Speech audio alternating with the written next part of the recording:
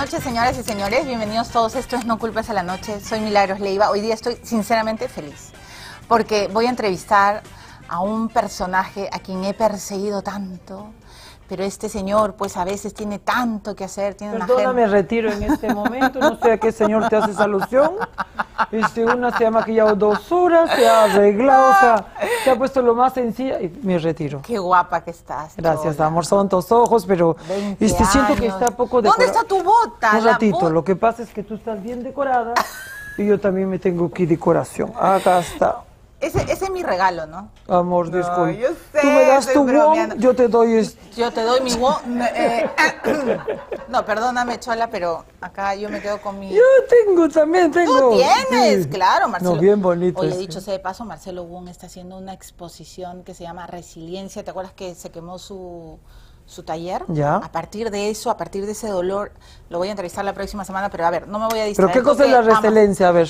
La resiliencia es, Es la conver... Pero es que... capacidad. A ver, vamos a darnos nuestros propios conceptos. Primero vamos al ¿Quién cons- empieza? Yo pues empezaré porque viene de una expresión geográfica, que cuando agarras y todo lo que sobra de los metales se reutiliza. Entonces ya el concepto humano es el que tú vas a decir, que es convertir lo malo en algo útil, ¿no? Qué bonito lo que acabas de decir, ¿ah?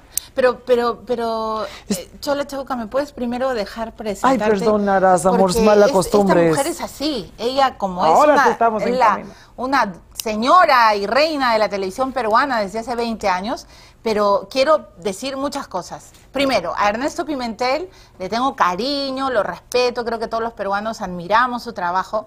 Eh, este programa va a cumplir tres años, lo he perseguido, no saben cómo, pero en verdad la Chola Chabuca siempre está ocupada, tiene muchas cosas que hacer, así que yo iniciar este programa diciendo que estoy feliz porque hoy día voy a presentar a un personaje que está 20 años celebrando su aniversario y ha venido hoy día a No Culpes a la Noche a celebrar con nosotros. Así que permítanme presentar a Ernesto Pimentel, la Chola Chabuca. Amorceto, muchas gracias ¿Cómo en nombre estás? de Ernesto y sobre todo de, de, de- de- tú sabes que tengo este que mantener, pues, ¿no? Este, un- una cosa bien complicada tengo, este. ¿Qué, ¿Cuál es tu cosa? Tengo que complicada? mantener al Pimentel alejado, porque todo sitio se quiere meter. Es verdad. Así son los Es hombres. sí, es digo bien yo. metiche, ¿no? Yo, por ejemplo, mira, el Ernesto Pimentel va a hacer Sweet Charity en el Teatro Municipal. Este, una comedia musical, va a cantar, va a bailar. No te creo, va a volver Ernesto Pimentel. ¿Eso qué te crees tú? Oye, pero yo estoy... Entonces yo, Pero es ¡juá! que yo solo veo a la Chola Chabuca. Por eso, pues entonces Ya. yo, para fastidiarlo, Ajá. yo he agarrado, he hecho mi evento en Plaza Norte con Corazón Serrano, Con corazón cerrado. con Mare, Maresol. Con Marisol. Maresol. No, se dice Marisol, Chola. Ya bueno. Amorcito, mira, la que tiene plata.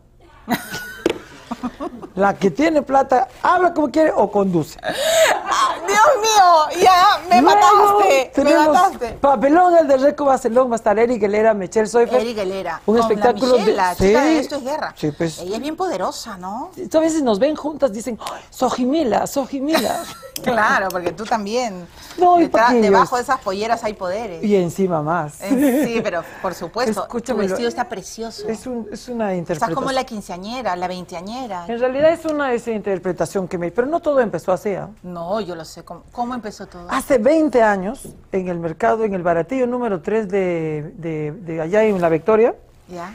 ahí pues este, me compré mi primera pollera y mi blusa de 15 soles, Tu de color pollera. fosforescente, verde, verde, como los dólares, verde. Ya, recuerda esa escena cuando estás yendo a comprarte tu pollera, estoy ilusionado porque vas a, ilusionada, porque te vas a convertir en la chola chabuca, porque tienes que demostrar quién eres, qué haces, cómo puedes. Tenía un saqueto azul con blanco que era de segunda, de. Cáritas. Ya, Tenía una cartera de mi abuelita como las novias, porque tenían algo usado, algo nuevo, ¿no? Sí. Y me fui a comprar pues este la, la blusa. Compro la blusa y el roche de probarme, pues. ¿Por qué el roche de? Porque ahí es el baratillo te venden la blusa hasta más y si no me quedaba, entonces medirme así en el hombro, pues, ¿no? Ajá. Y me compré mi blusa. Y el zapato, mi primer zapato, me lo compré en la Plaza 2 de Mayo, era un yankee. Ya. porque nosotros siempre hemos reciclado. Pues. ¿Has visto la parte claro. de los de las llantas? Sí, claro. Ese es un yankee así. de- Claro, la- la- la- las, de, las ojotas. el otro día me compré una carterita de eso de llanta, carísimo. eh. Carísimo, puedo ver tus zapatos, Oye, puedes, puedes levantar un poco la pierna para que vean, miren ese zapato, por favor, pueden enfocar. Por favor. Ahí está, por favor, quédate ahí. así, luciendo tus hermosas piernas, chola. Son dos canillas. dijo. Pero qué Enormes, prolongadas. Qué lindos son. Tus zapatos son un clásico. Bueno, ¿A quién se le ocurrió? En realidad todo fue que las cholas estaban siendo vistas siempre como pobres. A ver, hoy hablamos de lo emergente, hablamos de las cholas, ¿no? Pero a ver, ponte 20 años atrás. Mm. Entonces la chola siempre fue vista como chiquita, como, como que era como nunca era la dueña de la casa. Pero tú saliste como una chola y yo guapa, triunfadora. una chola dueña de casa, Exacto. dueña de su destino, teniendo como referencia a, los, a las cholas artistas. Y además con unos anillos. Bueno, esto es en realidad es chafalonería, eh, señora. Que, no, me encantan. ¿De dónde los sacas, mujer? De Nueva York. Oh, su madre, de Nueva York, claro. O sea, tú ya eres pues Pero una mis primeros fueron de una zona en Huancayo de San Jerónimo. de mi tierra. Bonito. Claro, San Jerónimo. Mira, ahí hay una, una la platería maravillosa, los sabes artesanos que de la plata. Huancayo empieza como mi primer referente de lo que más me gustaba. Ok.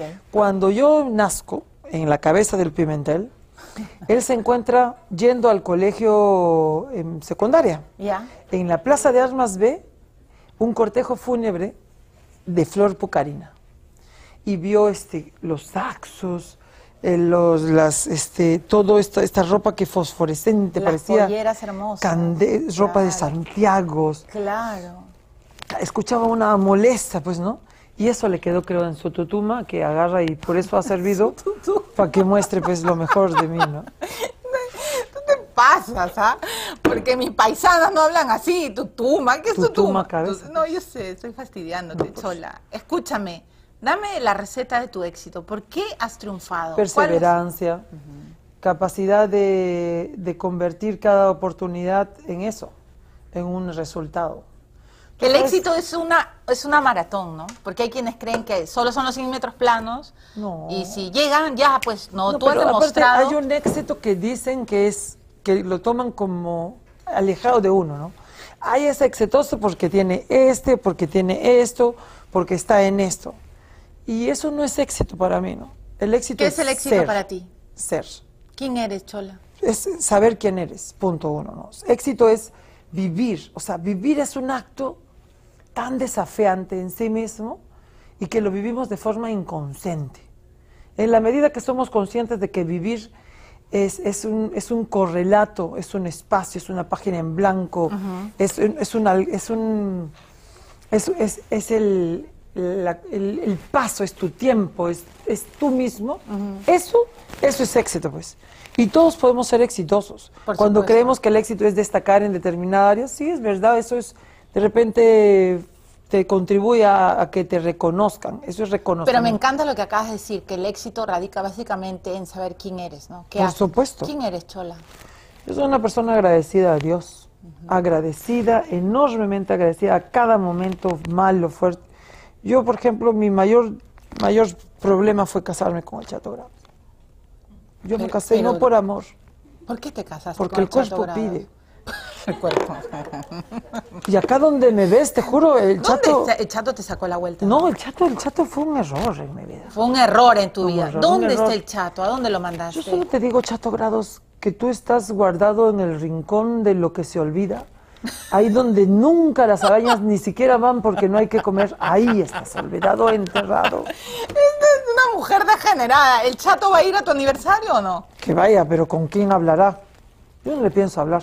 No lo le- que ya lo vas fue, a matar con la indiferencia. Mira, el Chato Grados Ajá. era este mi, mi, mi Chuck Norris. Pues. ¿Y ahora quién es tu Chuck Norris? ¿Eric Helera?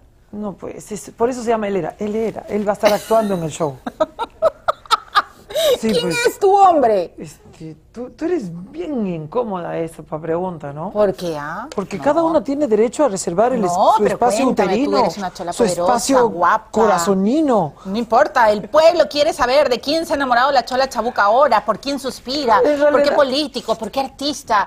¿Suspira por Christian Meyer o por Diego Berti? ¿Quieres que te diga la verdad? Sí. Te digo en serio. Sí, en serio. Hay una canción, te voy a decir con canción, pues, que dice así, ¿no? este, dice así, Suspiro se llama la canción. Suspiro. ¿Para qué quieres tener mi número telefónico Porque quieres saber mi correo electrónico. Conmigo vas a jugar, conmigo tú no podrás hacer ese, ¿no? Y de eso dice este, a mi corazón le debes 2.500 suspiros. A mi corazón le debes 2.500 suspiros. Si alguna vez me has pagado, ven, muéstrame tu recebo. Así es. ¡Wow! Estoy así enamorada de la música, ese es de Rosita de Espinar. No, ya, pero elige al peruano que te trae loca, que cuando terminas tu programa dices, ¿cómo no lo conozco a este hombre? Es que va a ser mi chambelán y si lo digo voy a... No, pues di ya, Chola, dime, cuéntame algo. Es que a mí me gusta Nicola. Nicola. Toma agua, toma Ay, agua. Te juro que Nicola es... Es bien guapo, ¿ah? No, ¿qué importa que sea? Es que es buen mi papá, me gusta eso. Tienes tu hijeto, es, y tú, eh, bien simpático el Nico. Pero Él va, a ser tu, él va a ser tu. No, no sé quién va a ser, pues, pero yo, todo el mundo sabe Ya, que... ya, ya, ya. Después, este, a ver... ¿qué- Déjame, déjame ir a la pausa y después te puedo preguntar qué político te trae loca, porque me han contado que a veces te despeinas, que tus ¿Político? trenzas... Hay un político, me han dicho. Amorcito, ¿y el único pol- político?